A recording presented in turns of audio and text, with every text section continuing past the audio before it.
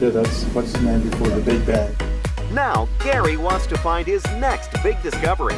Gary is looking for the next generation of TV actors, film stars, and YouTubers, possibly you.